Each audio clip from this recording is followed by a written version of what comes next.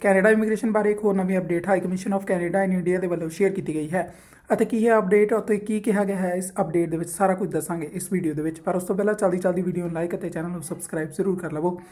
Canada immigration ਨਾਲ ਸੰਬੰਧਿਤ ਜੋ ਇੱਕ ਹੋਰ ਅਪਡੇਟ ਸਾਹਮਣੇ ਆਈ ਹੈ, ਉਸ ਦੇ ਬਾਰੇ ਜਾਣਕਾਰੀ high commission of Canada in India ਵੱਲੋਂ ਸਾਂਝੀ ਕੀਤੀ ਗਈ ਹੈ।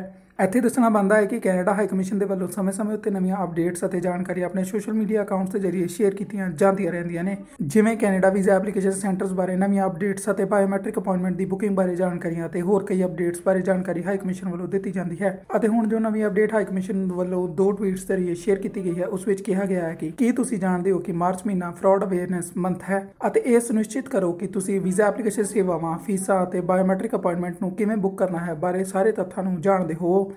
ਵਧੇਰੇ ਜਾਣਕਾਰੀ ਲਈ QR ਕੋਡ ਸਕੈਨ ਕਰਕੇ ਜਾਣਕਾਰੀ ਨੂੰ ਚੈੱਕ ਕਰਨ ਦੀ ਗੱਲ ਵੀ ਕਹੀ ਗਈ ਹੈ। ਅਤੇ ਹਾਈ ਕਮਿਸ਼ਨ ਦੇ ਵੱਲੋਂ ਕੀਤਾ ਗਿਆ ਟਵੀਟ ਤੁਸੀਂ ਸਕਰੀਨ ਉੱਪਰ ਦੇਖ ਸਕਦੇ ਹੋ। ਅਤੇ ਦੂਸਰੇ ਟਵੀਟ ਵਿੱਚ ਹਾਈ ਕਮਿਸ਼ਨ ਵੱਲੋਂ ਇਹ ਕਿਹਾ ਗਿਆ ਹੈ ਕਿ ਅਸੀਂ ਜਾਣਦੇ ਹਾਂ ਕਿ ਬਹੁਤ ਸਾਰੇ ਕਲਾਇੰਟਸ ਰਿਫੰਡ ਦੀ ਉਡੀਕ ਕਰ ਰਹੇ ਨੇ ਅਤੇ ਅਸੀਂ ਜਿੰਨੀ ਜਲਦੀ ਹੋ ਸਕੇ ਇਹਨਾਂ ਰਾਹੀਂ ਕੰਮ ਕਰ ਰਹੇ ਹਾਂ। ਇਸ ਦੌਰਾਨ ਜੇ ਤੁਸੀਂ ਨਵੀਂ ਅਰਜ਼ੀ ਦਾਖਲ ਕੀਤੀ ਹੈ ਤਾਂ ਤੁਹਾਨੂੰ ਨਵੀਆਂ ਫੀਸਾਂ ਅਦਾ ਕਰਨੀਆਂ ਪੈਣਗੀਆਂ। ਅਤੇ ਹਾਈ ਕਮਿਸ਼ਨ ਵੱਲੋਂ ਟਵੀਟ ਦੇ ਵਿੱਚ ਇਹ ਵੀ ਕਿਹਾ ਗਿਆ ਹੈ ਕਿ ਤੁਹਾਡੇ ਸਬਰ ਅਤੇ ਸਮਝ ਲਈ ਧੰਨਵਾਦ। ਇਹ ਸਨ ਦੋ ਟਵੀਟਸ ਜਿਨ੍ਹਾਂ ਜ਼ਰੀਏ high commission of Canada in India ਵੱਲੋਂ ਨਵੀਂ ਅਪਡੇਟ ਸ਼ੇਅਰ ਕੀਤੀ ਗਈ ਹੈ। ਇਮੀਗ੍ਰੇਸ਼ਨ ਅਤੇ ਦੇਸ਼ ਦੁਨੀਆ ਨਾਲ ਜੁੜੀਆਂ ਹੋਰ ਖਬਰਾਂ ਲਈ ਚੈਨਲ ਨੂੰ ਸਬਸਕ੍ਰਾਈਬ ਜ਼ਰੂਰ ਕਰ ਲਵੋ। ਬਿਊਰੋ ਰਿਪੋਰਟ, ਖਬਰ ਪੰਜਾਬੀ।